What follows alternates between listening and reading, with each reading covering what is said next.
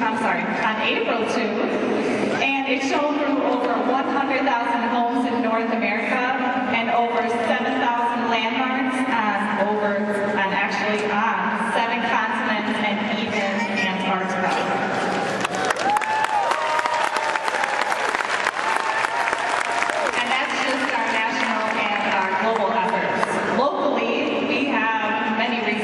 celebrate.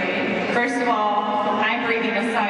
right now because we are here solely to our new community partners,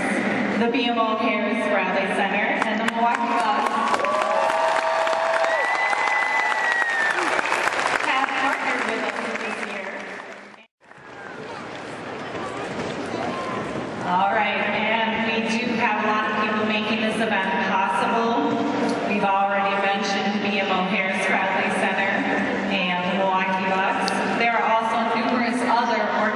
organizations and businesses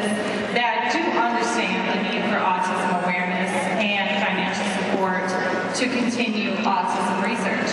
At this time, I would like to recognize and thank some of our additional 2013 Walk Now for Autism Speaks sponsors, Sam's Club, Whole Foods Market,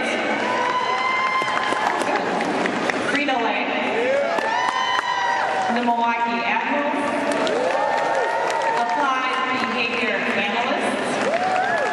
the Brewer